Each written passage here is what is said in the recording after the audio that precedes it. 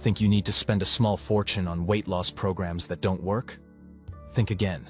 We're talking about five FDA-approved medications that are changing how we approach weight loss entirely. But here's what most people don't know. These aren't diet pills, and they're not a quick fix. Today, we'll break down exactly how Ozempic, Wegovy, Rybelsus, Mounjaro, and Zepbound work, what the real risks are, and the surprising facts your doctor might not have time to explain. Let's start by understanding what makes these drugs so different from everything that came before. Understanding how these drugs actually work. Here's the thing most people get wrong about these medications. They're not stimulants like the diet pills of the past. They don't speed up your metabolism or block fat absorption. Instead, they work by mimicking hormones your body already produces naturally. We're dealing with two main types here. The first group includes Ozempic, Wegovy, and Rybelsus. These are called GLP-1 receptor agonists. GLP-1 stands for glucagon-like peptide 1, which is a hormone your intestines release when you eat. The second group includes Mounjaro and Zepbound, which are dual agonists. They target both GLP-1 and another hormone called GIP, or glucose-dependent insulinotropic polypeptide. Now, here's how this affects your body. When you eat, these hormones normally tell your pancreas to release insulin, but only when your blood sugar is elevated. They also slow down how quickly food leaves your stomach. This is called gastric emptying, and it's crucial for understanding why these drugs work so well for weight loss. But the real game changer happens in your brain. These medications cross the blood-brain barrier and affect the hypothalamus, the part of your brain that controls hunger and satiety. They don't just make you feel full faster, they reduce what researchers call food noise, that constant mental chatter about food that many people with obesity experience. Here's something that might surprise you. These drugs also affect your brain's reward pathways. You know how some foods trigger that intense craving or satisfaction? These medications can dampen that reward response. People often report that their favorite foods just don't seem as appealing anymore. It's not willpower, it's neurochemistry. The blood sugar connection is important too. Even if you don't have diabetes, these medications help stabilize your glucose levels throughout the day. When your blood sugar is stable, you're less likely to experience those energy crashes that lead to cravings and overeating. Now let's address the elephant in the room. People sometimes dismiss these as the easy way out. But here's what the research shows. Obesity involves complex interactions between genetics, hormones, brain chemistry, and environmental factors. For many people, the hormonal signals that should regulate appetite and weight simply aren't working properly. These medications essentially restore some of that normal hormonal function. Think of it this way. If someone with diabetes takes insulin, we don't call that cheating. We understand they need medication to manage a biological process that isn't working correctly. The same principle applies here. The dual-action drugs like Mounjaro and Zepbound take this a step further. GIP, the second hormone they target, also affects how your body processes fat and glucose. Some research suggests this combination might be even more effective for weight loss than GLP-1 agonists alone. Here's another fascinating aspect most people don't know about. These drugs can change your food preferences. Studies show people often naturally gravitate toward healthier foods in smaller portions. They're not forcing themselves to eat less. They genuinely want less food and different types of food. The timing matters too.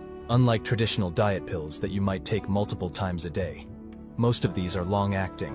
Ozempic, Wegovy, Mounjaro, and Zepbound are weekly injections. Rybelsus is a once-daily pill that maintains steady hormone levels throughout the day. But here's the reality check. These medications work best when your natural hormone systems are disrupted in the first place. That's why they're most effective for people with significant weight to lose, often those with a BMI over 30 or over 27 with weight-related health conditions. The bottom line is this. These aren't magic bullets, but they're addressing the biological reality of weight regulation in a way we've never been able to before. They're giving people's bodies the hormonal signals they need to regulate appetite and weight naturally. Now let's break down each of these medications individually, because the details matter when you're making decisions about your health. Let's start with the one that started it all, Ozempic. The active ingredient is semaglutide, and it was FDA approved back in December 2017. But here's the catch. It was approved for type 2 diabetes, not weight loss. The weight loss was what doctors call an off-label use. People with diabetes were losing significant weight, and word spread quickly. Ozempic is a once-weekly injection that you give yourself, usually in your thigh, stomach, or upper arm. You start with a low dose, or 0.25 milligrams weekly, and gradually increase over several months to either 1 or 2 milligrams weekly. The injection pen is pre-filled and relatively easy to use, though many people are initially nervous about self-injecting. Then came Wegovy in June 2021, a game changer. It's the exact same medication as Ozempic, semaglutide, but it was specifically approved by the FDA for chronic weight management. The key difference is the dosing. Wegovy goes up to 2.4 milligrams weekly, which is higher than the typical Ozempic dose for diabetes. Here's what's interesting about the approval process. The FDA required extensive clinical trials showing not just weight loss, but sustained weight loss over time. The STEP trials, as they're called, followed people for 68 weeks and showed an average weight loss of about 15% of body weight. That's substantial. We're talking 30 pounds for someone who weighs 200 pounds. Now Rybelsus is the odd one out in this group. It is the first and only GLP-1 receptor agonist available in tablet form, offering a needle-free alternative to the injectable version of the same active ingredient, semaglutide. It was FDA approved for diabetes, and like Ozempic, weight loss is an off-label use. With Rybelsus, you must take it on an empty stomach with just a sip of water, then wait at least 30 minutes before eating or drinking anything else. This makes it less convenient than the weekly injections for many people. And the absorption of oral semaglutide is quite poor. Less than 1% of the dose gets into your bloodstream compared to the injections. That's why the pill doses are much higher, 7 or 14 milligrams daily compared to the weekly injection doses. Moving on to the newer players. Mounjaro hit the scene in May 2022. The active ingredient is tirzepatide, and initially it was approved only for type 2 diabetes. But the weight loss results were even more impressive than what we saw with semaglutide. We're talking about average weight loss of 20 to 22% in clinical trials.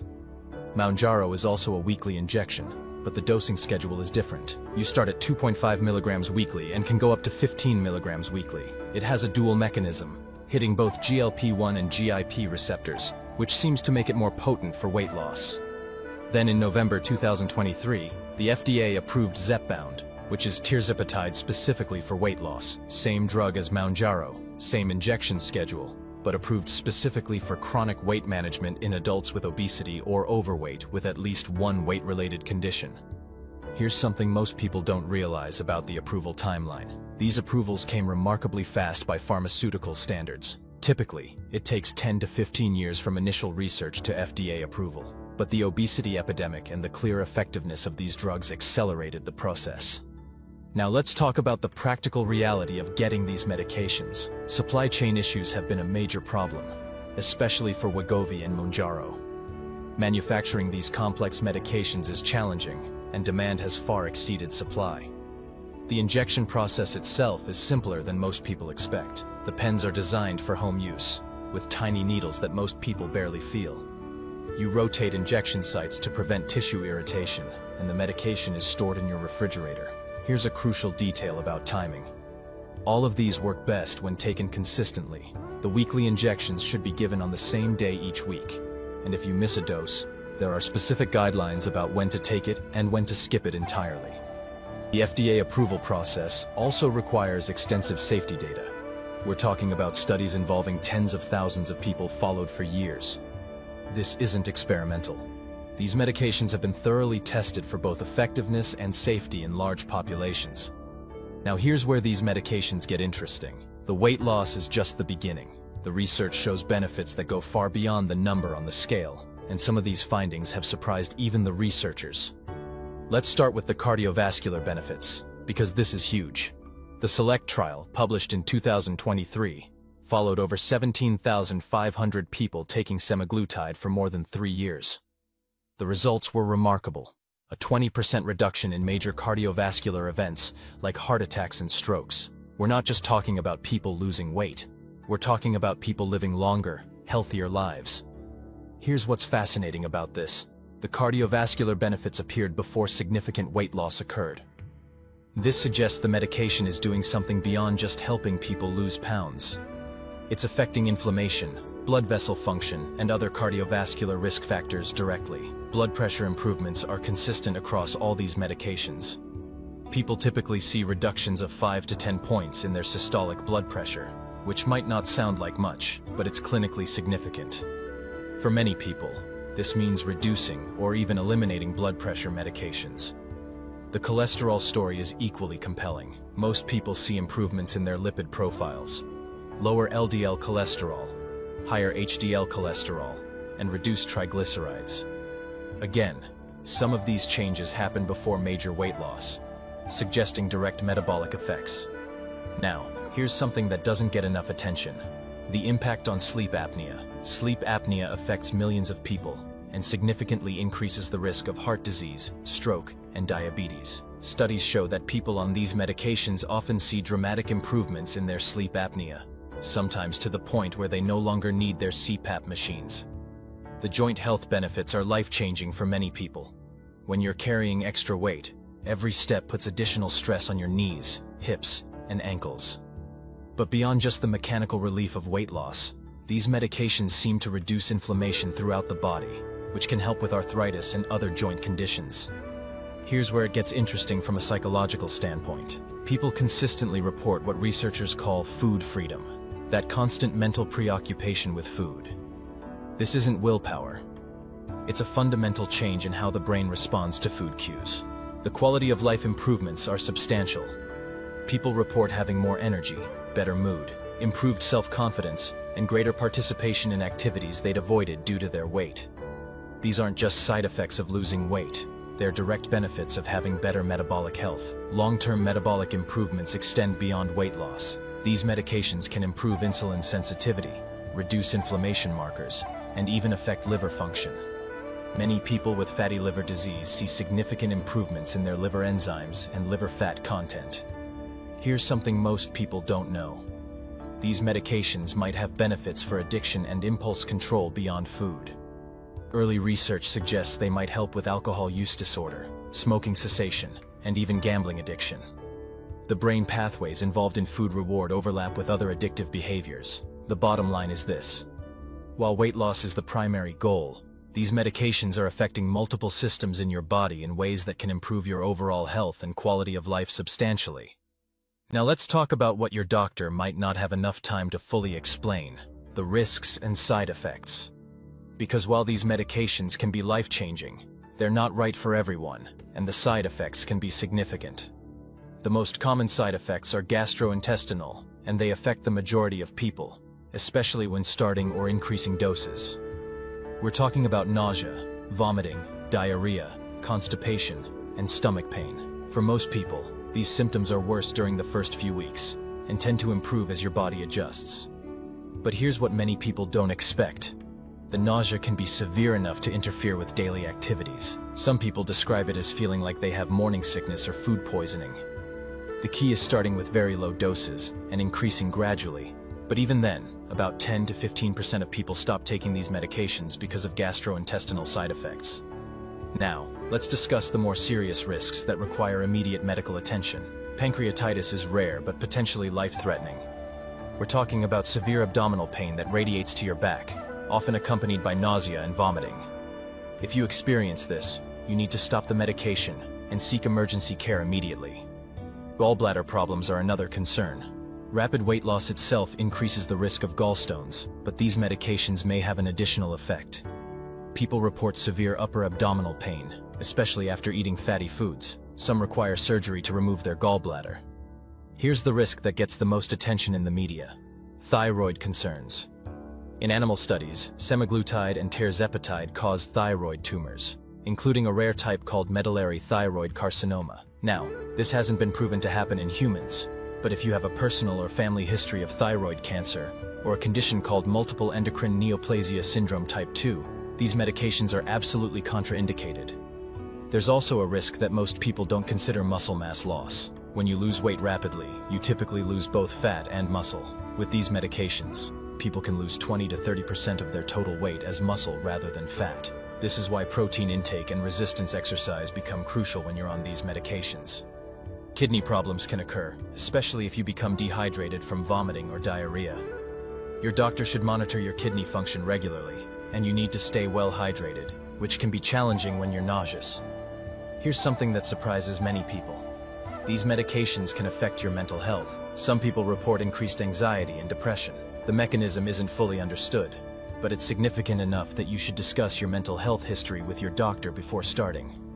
Drug interactions are important to consider. These medications slow gastric emptying, which can affect how other medications are absorbed. If you take medications for diabetes, blood pressure, or blood thinners, your doses might need adjustment. Who should absolutely avoid these medications? Pregnant or breastfeeding women, people with a history of pancreatitis, those with certain types of thyroid cancer or multiple endocrine neoplasia syndrome type 2, and people with severe gastroparesis or digestive disorders. Age matters too. These medications haven't been extensively studied in people over 75, and the side effects might be more severe in older adults. Here's the reality nobody talks about enough. Rapid weight regain when stopping. Studies show that people regain about two-thirds of their lost weight within a year of stopping these medications. Your appetite and food cravings return to previous levels. Cost is a practical risk factor. These medications can cost $800 to $1,200 per month without insurance coverage. Many insurance plans don't cover them for weight loss, only for diabetes. The bottom line, these are powerful medications with significant benefits, but they require careful medical supervision and aren't appropriate for everyone. So, you're considering one of these medications. Here's exactly what you need to know to make an informed decision and navigate the process successfully. First, Let's talk about choosing the right healthcare provider. Not all doctors are equally experienced with these medications. You want someone who understands the nuances, an endocrinologist, obesity medicine specialist, or primary care physician who regularly prescribes these drugs. Ask how many patients they've treated with GLP-1 agonists and what their approach is to monitor and adjusting doses. Here are the specific questions you need to ask during your consultation. What's my baseline hemoglobin A1C, even if I don't have diabetes? What are my kidney function markers? Do I have any family history of thyroid cancer or multiple endocrine neoplasia syndrome? Have I had pancreatitis or gallbladder problems? These aren't just screening questions. The answers directly affect which medication is safest for you. Now, about choosing between injection versus oral options. Rybelsus might seem appealing because it's a pill, but remember the strict dosing requirements. Empty stomach, minimal water, wait 30 minutes.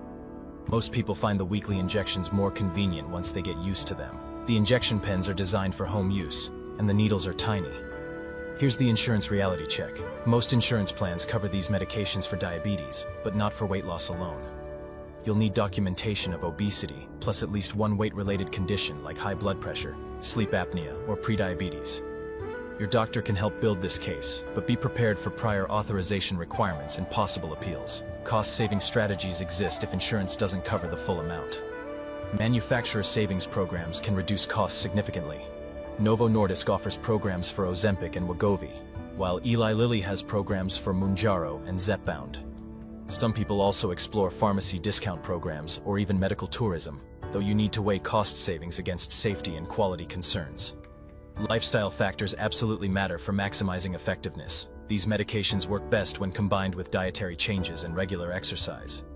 You don't need a perfect diet, but focusing on protein intake becomes crucial to preserve muscle mass during weight loss. Aim for at least 0.8 grams of protein per kilogram of body weight daily. Here's your realistic timeline expectations. Most people see appetite suppression within the first week, but significant weight loss typically takes 3 to 6 months. The maximum effect usually occurs around 6 to 12 months. Most people need to stay on these medications long-term to maintain weight loss, so factor that into your financial and lifestyle planning. These five FDA-approved medications represent the biggest breakthrough in weight management we've seen in decades, but they're tools that require medical guidance and realistic expectations. If you're considering this path, your next step is consulting with a qualified healthcare provider who can assess whether you're a good candidate and help you navigate the process safely. If you have gained insight from this video, please subscribe and like for more evidence-based health content that cuts through the confusion.